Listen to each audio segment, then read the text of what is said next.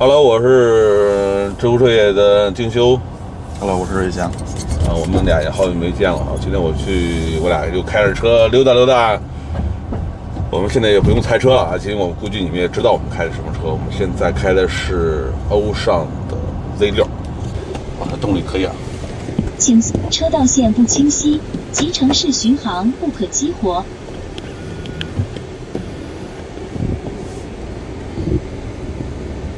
们现在是开的那个智能模式，如果开那个动力模式的话，那个油门响应会更直接一些。这已经够直接的了。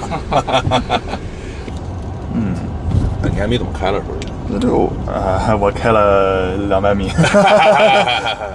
一会儿咱可以换开一下。不过 Z 六之前看过了，也也去谈过店什么的，都倒是有一个基本的了解了，就是不知道真实的试驾感受。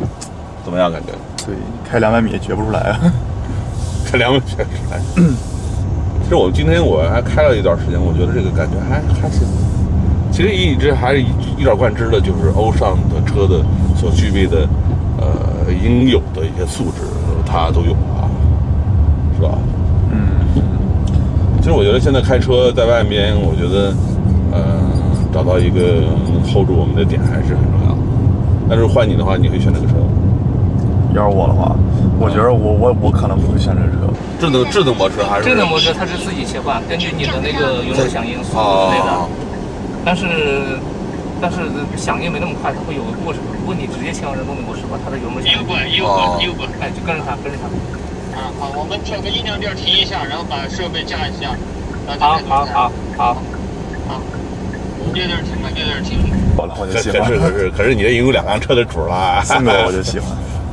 估计得让他买个 SUV 的话，那种从基因里边或者从骨子里边那种动力他就少了。但是我觉得这个如果瑞祥没有他的其他车存在的话，他有可能会选这个车，是吧？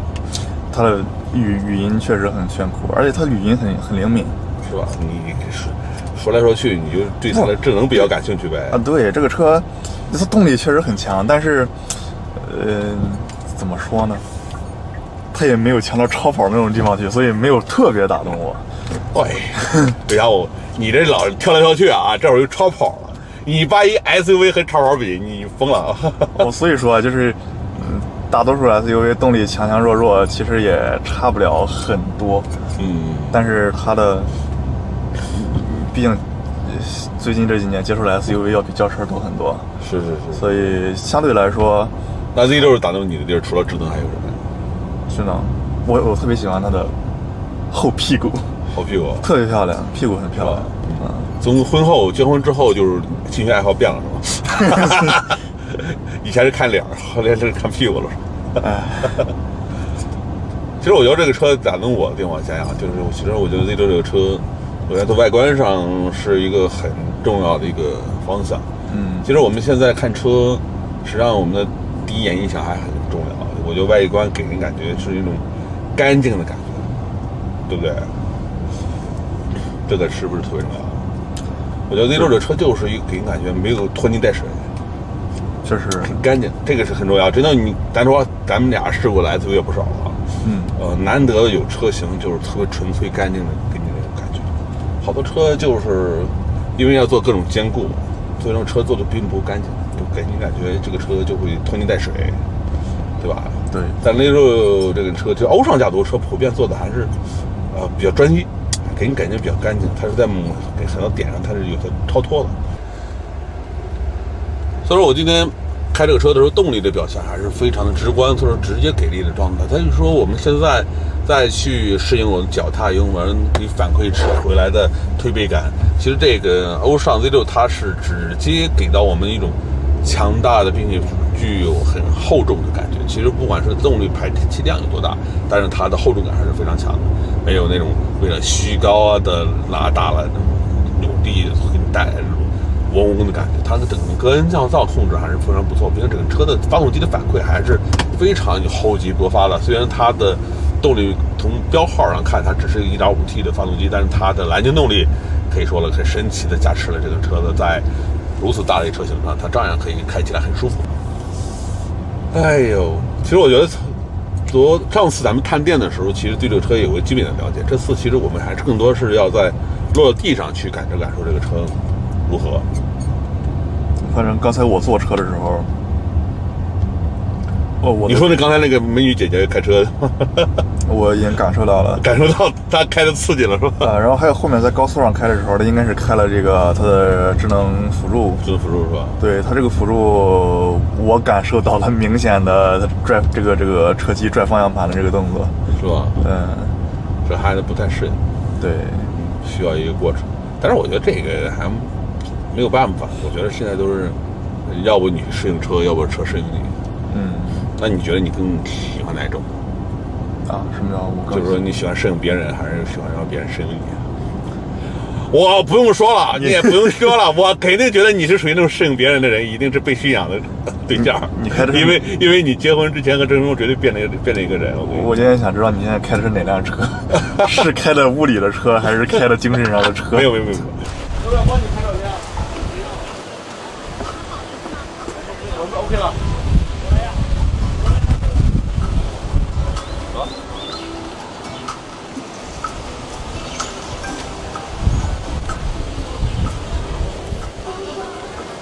己的呃粉丝，包括对立粉丝的状态，它是如何存在的，这点都是非常重要的。所以说，我觉得这个车，嗯、欧尚 Z 六车它是有自己的独特的规则和游戏规则和包或者说不同的认知的。也正是正是这种不同规则的认知，让这个车很多粉丝喜欢它之后就爱不释手。甚至你开过它这个这个 Z 六这个车以后，你回去其他车就开起来就觉得特别别扭了。嗯，其实这个这款车开上去还挺比比较接近新能源车的那种驾驶感受。是吧？哦，这边海边还挺好看的。当然，我们现在才说了这么长时间以来，欧尚做了很多的突破。由于从几代车型，包括美稳扎稳打的技术，到现在为止，我们去看到这款车的时候，我们可能更多想象到未来技术如何来衬托到这款车上。但这次呢，它也是推出了 1.5T 的版本，以及 1.5T 的混动版本，以及它的 2.0T 的版本。价格来讲，是非常的亲民了，因为现在是预售价格，像混动的起步价才十五万左右的价格，也可，也就是说，它有可能这个价格还要更便宜，比如说十五万上下就可以买到混动版本。当然了，如果在政策不同的情况下，混动还享受一个额外的政策，也就是说更优惠了。所以我觉得今年来讲的话，我觉得混动版本的很大的表现就是我们为什么说这个时候很多车在很多的释放能量，因为确实在政策方面来讲呢，以后的混动有可能没有享受更好的政策。说今年的时候你选车，我觉得很大一部分力量可能选择这种混动版本。所以说我们觉得长安在混动这块加持用了很多时间去做，就是混动对于长安的意义也非常重大。哦，所以说我们今天看到和 UNI-K 同款的混动技术放在欧尚 Z 六上以后，我们觉得这个技术就非常的亲民了，因为价格也不是特别贵。当然，我们开始开始也说，我说我们选一个 SUV 为什么要选混动？呃，为什么在它这台情怀在哪里？其实更多是因为现在油价的飙升，更高的价格，同时我们更需要更长的续航。长续航是个很关键打动我们的地方。我们不管是油耗如何，先放在一边说，我们需要个长续航是很重要的。所以说我们再去做环岛驾驶，还是我们去呃更长途的去探索，或者说我们去穿越或者去任何想去的地方。当然，现在公路建设都没什么问题，但是我们可能走进无人区或者去加油站离我们很远很远。一箱油保证你跑到一千多公里、一千二百多公里的时候，你发现哎，混动的技术在这里边表现的更加优越了。所以我们现在看欧尚 A 六的时候，我们从外观上看它的加持，包括说整个厂家来定义它的时候，其实我们看得出来，从欧尚的家族式的前脸到欧尚 Z 六的进一步的突破，是吧？从 Z 开始的进一步突破，其实能看得出来，它这次更多是彰显它的智能化的配置。当时我也试过，它在语音控制，包括车内语音还是车外语音，是它独到的存在。所以正因为这种语音的存在，让我们呃和车的直接的交流多了更多的机会。也正因为这种机会的交流，让我们再去看那个车的时候就觉得非常好玩。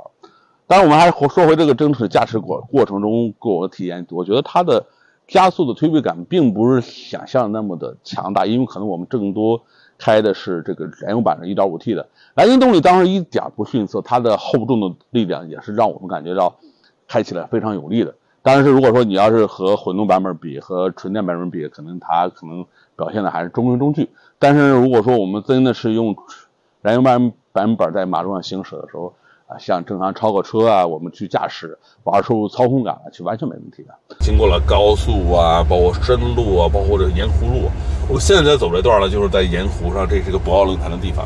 所以我们再去猜这个车，就讲讲这个车的直接的感受。其实这种车，其实在一以贯之的保持了，呃，像欧尚家族车所具备的一些反馈啊、舒适度啊等等其他，在过去的基础上做的更加的完美。其实我觉得现在看的话，这个车的在驾驶感受上、细节方面更准确，就是说准确的感受是非常不错的。也就是说，我们在呃，一直在评价一个车型的话，如果说我评价欧尚车系，或者说我评价欧尚 Z 六的话，我觉得它给我带来的更多的感受是干净。用“干净”两个字来形容欧尚车系，是非常准确的一个一个状态。因为我觉得它给你感觉并不是拖泥带水。所以，我们再去看欧尚 Z6 这个车，不管是外观还是驾驶感受等等其他，它给你带来的就是更直接的，让你得到你想得到的东西，就是你没有那种各种的。呃，拖泥这种拖泥带水和各种那种呃冗余的一些东西，其实它更多还是让我们觉得，哎，这个车开起来很直接、很舒服，并且在你的品牌认同价值观上，它可以带你一起玩。其实我们在之前也讲过，其实我们现在缺少的状态是什么呢？尤其现在年轻人。其实我们更多是习惯种一种习惯。我希望在每个生活状态中，包括驾驶过程中，或者我个人爱好中，是大家认同一个同一个习惯，像像现在所谓的二次元一样，包括我们所谓的人设。那我们对一个车子设定标准，同样也是一个道理，就是它一定要有一个它自己需要基而观之的定既定的标准。所以欧尚这个车呢就在和我们的用户和我们的呃未来车主在去驯养的状态时候，它能给到一个。